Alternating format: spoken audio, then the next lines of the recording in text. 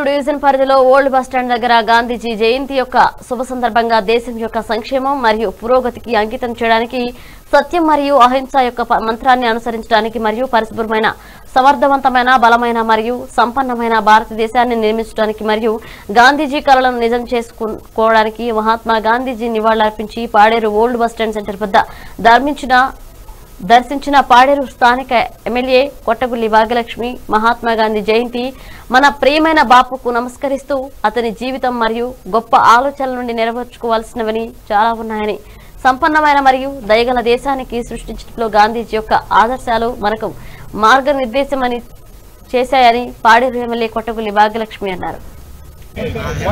భారతదేశ జాతిపిత మన మన దేశానికి స్వతంత్రం తెచ్చినటువంటి మహాత్మా గాంధీ గారు పుట్టినరోజు జన్మదిన శుభాకాంక్షలు కూడా మీకు తెలియజేస్తూ ఇదే రోజున చరిత్రలోనే చరిత్రలోనే ఒక చారిత్రాత్మక ఘట్టం చారిత్రాత్మక దినం ఈ రోజు.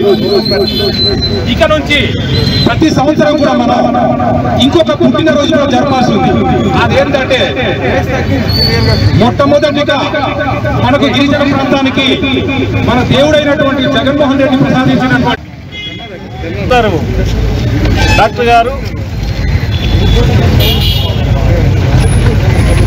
వేదిక మీద ఉన్నటువంటి నా తోటి వైఎస్ఆర్ కాంగ్రెస్ పార్టీ కార్యకర్తలందరికీ కూడా హృదయపూర్వక నమస్కారాలు తెలియజేస్తా ఉన్నా. ఈరోజు చారిత్రాత్మకమైనటువంటి దినం. సుమారు రెండు దశాబ్దాల పాటుగా బ్రిటిష్ వాళ్ళ చేతుల్లో ఉన్నటువంటి స్వాతంత్రాన్ని అహింస అనేటటువంటి ఆయుధంతో స్వాతంత్రం సిద్ధించినటువంటి మన జాతిపిత మహాత్మా గాంధీ పుట్టినరోజు. అలాగే ఆ మహనీయుని యొక్క ఆశయాలు లక్ష్యం సిద్ధాంతం కోసం పనిచేసేటటువంటి వైఎస్ఆర్ కాంగ్రెస్ పార్టీలో జగన్మోహన్ వైఎస్ రాజశేఖర రెడ్డి గారు ప్రాతినిధ్యం వహించడం ఒక చరిత్ర. అదేవిధంగా ఆయన వారసుడుగా ఈ దేశంలో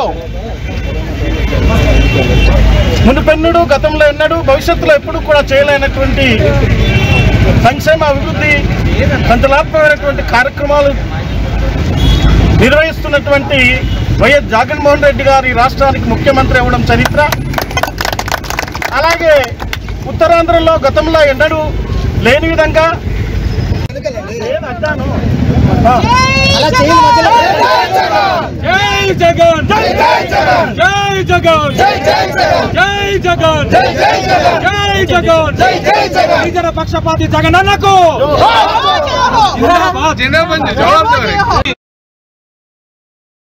సడన్గా మనకు ఊహించినంత పరిణామం జరిగింది. ఆ దేవుడు పంపించిన వ్యక్తి జగనన్న రావడం ఈ కలియుగంలో ఒక యుగ పురుషుడు పుట్టడం గిరిజనుల కోసం పాటుపడుతున్న